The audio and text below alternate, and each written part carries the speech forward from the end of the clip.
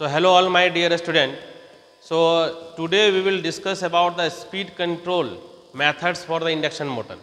तो जैसा कि हम लोग थ्योरी क्लासेस में तो इंडक्शन मोटर के बारे में समझ रहे हैं लेकिन कुछ प्रैक्टिकल जानकारी जो हम लोग का इलेक्ट्रिकल मशीन्स टू में कुछ बेसिक स्पीड कंट्रोल टेक्निक्स है, वो सारे टेक्निकों को हम लोग को समझना है तो आज ये जो मशीन लैब में हम लोग देख सकते हैं कि हम लोग के सामने एक पैनल है जिसमें लिखा हुआ क्या है कि speed control of three phase squirrel cage okay listen squirrel cage induction motor by voltage control and voltage frequency means variable voltage variable frequency control तो यहाँ पर जो पैनल में आप देख सकते हैं कि सिंपल सा एक पैनल है, जिसमें आप देख सकते हैं कि यहाँ पर वीवीएफ ड्राइव है और यहाँ पर एक डॉल स्टार्टर स्टार्टर के बारे में भी आप लोग को थ्योरी पता होगा कि डॉल स्टार्टर जो बेसिकली कम रेटिंग मशीन्स के लिए, हम लोग जो लो रेटिंग मशीन होता है डायरेक्टली स्टार्ट कर सकते हैं डॉल स्टार्टर से। यहाँ पर पैनल में एक एमीमीटर देख रहे हैं जो कि मिली एमीमीटर्स है, जो मिली एम्पियर करंट के लिए है। एक वोल्ट मीटर है, यहाँ पर वोल्टेज सेलेक्टर है। और कनेक्शन हम लोग को सर्किट डायग्राम दिखाया जाएगा और उसी सर्किट डायग्राम के अकॉर्डिंगली हम लोग को सर्किट को कनेक्शन करना है। तो आते हैं कि जो स्पीड कंट्रोल का बेसिक है। तो जैसा कि मैं थ्योरी क्लास का बात करूँगा, उसमें आप लोग को डिटेल मिलेगा कि हम लोग how to control and what are the different different things लेकिन आप लोग को बस थोड़ा सा कॉमन जानकारी दे देता हूँ जैसा कि इंडक्शन मोटर में, हम लोग क्या जानते हैं कि जो सिनकॉर्नस स्पीड होता है 120 twenty F by P F means frequency P means pole और एन आर क्या होता है? रोटर स्पीड तो रोटर स्पीड के साथ में क्या रिलेशन है? एन एस और वन माइनस एस मतलब स्लिप तो हम लोग क्या देख रहे हैं कि जो रोटर होता है रोटर का जो स्पीड मतलब speed of the motor it depends upon the frequency okay and the pole and the slip और slip mean basically voltage control ठीक है? मतलब और हम लोग जानते हैं रिलेशन जो टॉर्क और वोल्टेज का है, वो torque is directly proportional to slip और स्क्वायर ऑफ़ द वोल्टेज तो ये जो थ्योरी क्लासेस है, ये थ्योरी क्लासेस को आप लोग जब देखिएगा तो आप लोग को स्पीड कंट्रोल मेथड समझ में आएगा। लेकिन आज का जो पर्पस है कि हम लोग यहाँ पर सिंपली फ्रीक्वेंसी को वेरी कराएँगे। फ्रीक्वेंसी को हम लोग यहाँ पर वेरी कराएँगे, जो कि मेरे पास एक फ्रीक्वेंसी ड्राइव है।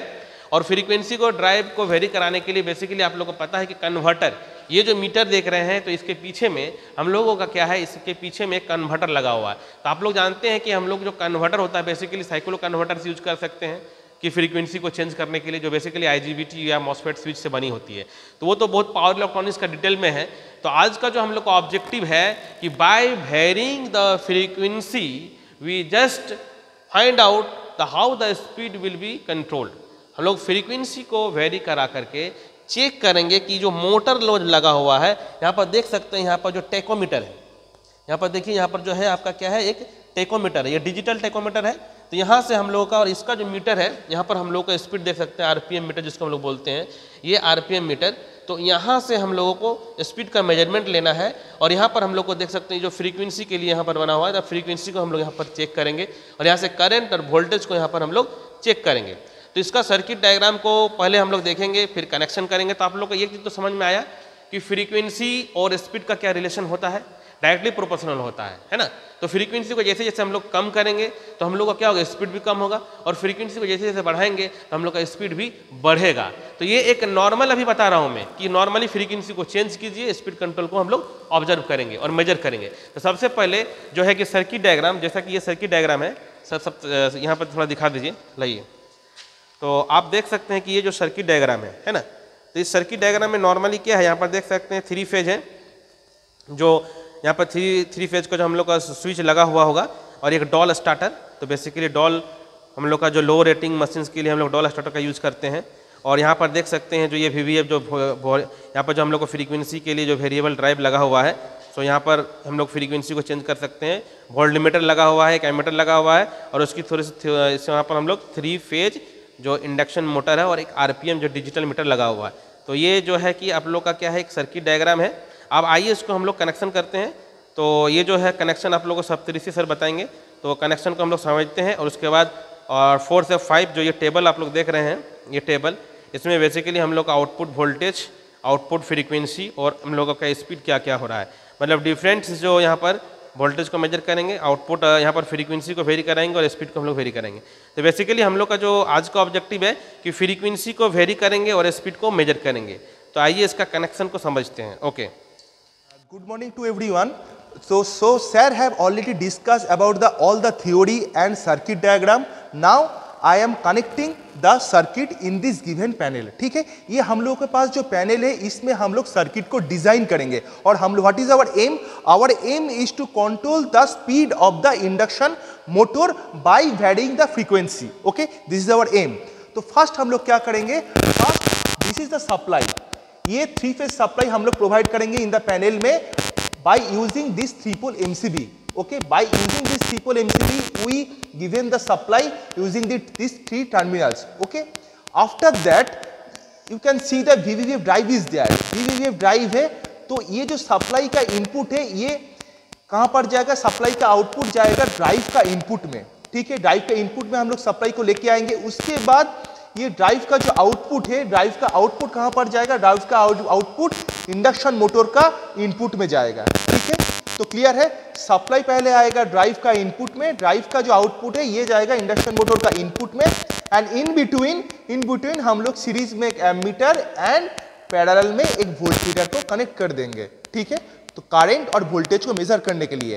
And already sir have told that one digital tachometer is connected digital tachometer is connected with the synchronous uh, motor and the display is we can show the display is here this is the display of the digital tachometer okay so let's start the designing the circuit okay तो first हम लोग क्या करेंगे जो R terminal है supply का R terminal को drive का आर टर्मिनल में कनेक्ट कर देंगे ठीक है फिर हम लोग क्या करेंगे फिर सप्लाई का जो येलो टर्मिनल है, इसको हम लोग ड्राइव का येलो टर्मिनल में कनेक्ट कर देंगे। And we have to connect the supply का जो ब्लू टर्मिनल है, उसको हम लोग ड्राइव का ब्लू टर्मिनल में कनेक्ट कर देंगे। Okay so we give the supply to the drive drive के इनपुट में हम लोग सप्लाई अभी दे दिए हैं। इसके बाद हम लोग क्या करेंगे? इसके बाद हम लोग ड्राइव का, ये देखो ड्राइव का क्या है? आउटपुट है। ड्राइव का आउटपुट है। इससे हम लोग सप्लाई को लेके कहाँ पर जाएँगे? पहले थ्रू एमीटर, हम लोग थ्रू एमीटर। देखो, ये आउटपुट का, आउटपुट से एक टर्मिनल निकल के थ्रू एमीटर थ्रू एमीटर ये इंडक्शन मोटर का इनपुट का आठ टर्मिनल में आएगा। ठीक है? तो ये आठ टर्मिनल कंप्लीट हो गया। ये ड्राइव का कहाँ से आ रहा है? ये ड्राइव का आउटपुट का आठ टर्मिनल से आके एक थ्रू एमीटर इंडक्शन मोटर का इनपुट में ये कनेक्टेड हो गया। इसके बाद हम लोग क्या करेंगे? इसके बाद हम लोग येलो जो येलो टर्मिनल है आउटपुट का ड्राइव का आउटपुट का येलो टर्मिनल को हम लोग डायरेक्ट इंडक्शन मोटर का येलो टर्मिनल के साथ कनेक्ट कर देंगे। And we have to connect we have to connect the blue terminal of the output, blue terminal of the drive to the induction motor, blue terminal तो हम लोग का circuit अभी कंप्लीट हो गया है। अभी दो चीज़ और मुझे कनेक्ट करना बाकी है। After connecting the all the terminal, we already connected a ammeter in series and मुझे पैरेलली क्या कनेक्ट करना है? वोल्ट मीटर को कनेक्ट करना है। तो वोल्ट मीटर को मैंने इंडक्शन मोटर का जो आठ टर्मिनल है, उससे एक टर्मिनल लेके पॉइंट लेके मैं वोल्ट मीटर का आर में और एक वोल्टमीटर का वाई में येलो में मैं इंडक्शन मोटर का येलो टर्मिनल से मैं कनेक्ट कर दिया। Voltmeter is connected in the parallelly voltmeter को मैंने पैरालली और एमीटर को मैंने सीरीज़ में कनेक्शन कर दिया है। Now our circuit is completed now our circuit is completed we have design our circuit after designing the circuit we have to we have to given the supply to the given panel okay? तो supply देने के लिए मुझे क्या करना होगा? Supply देने के लिए मुझे पहले एमसीबी को ऑन करना होगा। ठीक है? देखो एमसीबी के ऊपर तीन जो ये जो टर्मिनल है लाइट है, ये जल गया। इसके मतलब ये एमसीबी में पैनल में सप्लाई आ गया है। इसके बाद मुझे क्या करना होगा? इसके बाद मुझे so we have already design the circuit in our given panel हम लोग सर्किट को डिज़ाइन कर लिए हैं, हम लोग का गिवन पैनल में। इसके बाद मुझे क्या करना होगा? Already we have given the supply to this panel three phase supply to this panel after that we have to run the motor after that we have to run the induction motor induction motor अभी stop condition में है, उसको run करने के लिए क्या करना होगा? ये जो ड्यूएल स्टार्टर है, इसको ऑन करना होगा। डायरेक्ट ऑनलाइन स्टार्टर इसको ऑन करना होगा। So you uh, so starting the dual starter we have to you, you can see that two switch is there push switch is there. One is start one is stop. So you have to press the start button okay? One time and second time you can clearly see also the supply is is coming to the drive. Also the supply is coming to the drive. Again again we have to push the push this button so that one circle is circle is coming. One circle is coming here. That means this drive is fully on, fully in the operating condition mode. Okay? इसके बाद मुझे क्या करना होगा you can clearly see in the bottom of the drive two switch two push switches there दो push switch है drive का bottom में, इससे हम लोग एक में देखो लिखा है इंक्रीज एंड दूसरे में लिखा है डिक्रीज तो इंक्रीज हम लोग अगर जब, अगर इसको इंक्रीज करते जाएँगे तो क्या होगा? इस ड्राइव में देखो, ये क्या शो कर रहा है? फ्रीक्वेंसी शो कर रहा है. This drive is showing the frequency okay ये ड्राइव में फ्रीक्वेंसी शो कर रहा है। अगर हम ये पुश स्विच को इंक्रीज करेंगे तो क्या होगा? ड्राइव में फ्रीक्वेंसी का इंक्रीज होगा। ठीक है? जैसे हम लोग देखो और दे, देखो इधर पर अभी स्पीड कितना आ रहा है? स्पीड आ रहा है zero motor in the stop condition now if we increase the frequency. Now we if increase the frequency, increase the frequency, you can clearly see मैं frequency को increase कर रहा हूँ तो frequency right now is the 10 hertz. You can clearly see frequency is showing 10 hertz. अभी देखो frequency को मैंने 10 hertz में show कर दिया, fixed कर दिया तो अभी देखो speed देखो speed is 300.9 rpm is showing.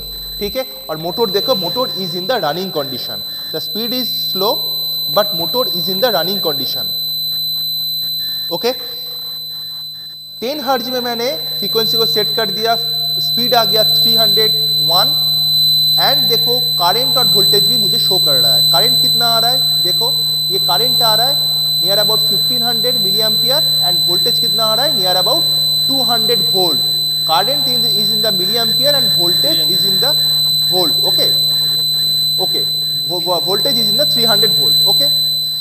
So, after that, we have to increase. हमें क्या करना होगा? अभी, हमें फ्रीक्वेंसी को इंक्रीज करना होगा। हम फ्रीक्वेंसी को इंक्रीज करते जाएँगे।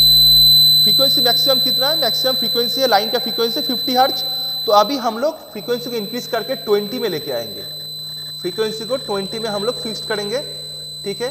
फ्रीक्वेंसी को मैंने 20 में फिक्स कर दिया। Frequency is fix in the 20 20 में फ्रीक्वेंसी फिक्स हो गया ओके फ्रीक्वेंसी 20 में फिक्स हो गया। अभी स्पीड कितना दिखा रहा है? देखो मोटर का स्पीड है 602.2 आरपीएम मतलब 600 आरपीएम मोटर का स्पीड हो गया।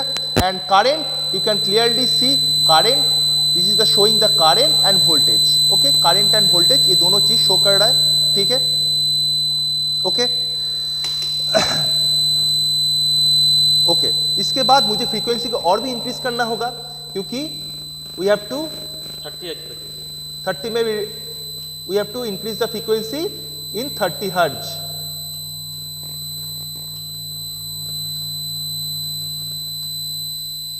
Approximately 30 hertz. Approximately 30, we have to fix the frequency in 30 hertz. Okay. You can clearly see frequency is in 30 hertz. Okay.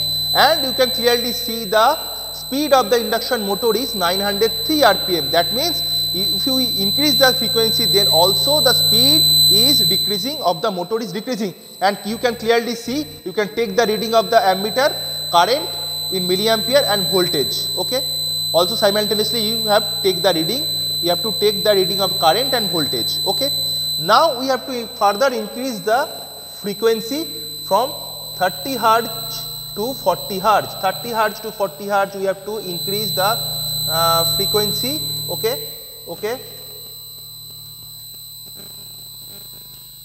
okay frequency मैंने approximate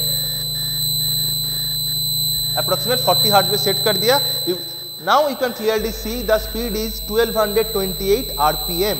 So the speed is increasing when we increase the frequency. Also you can take the reading of the ammeter and current and voltage from the ammeter and voltmeter. Okay. Further we have to increase the frequency from 40 to 50 Hertz.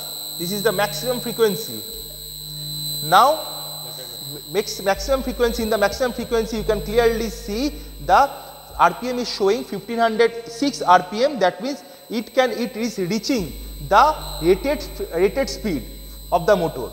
Rated speed में ये पहुंच गया है ठीक है motor is running in full speed okay and you can also take the reading of the current and voltage when the frequency is in the 50 hertz and speed is in the 1500 rpm okay? So what is the conclusion?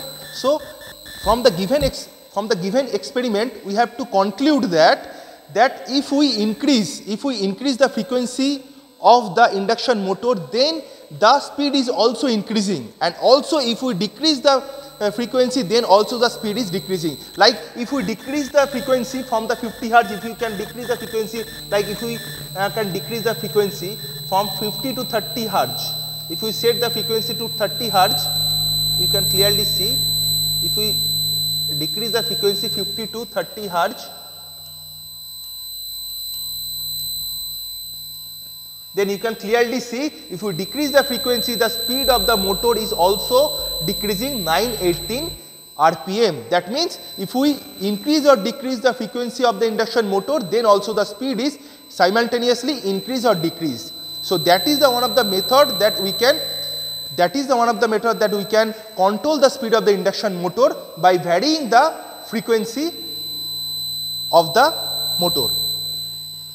Uh, so I hope uh, all of you understood this experiment.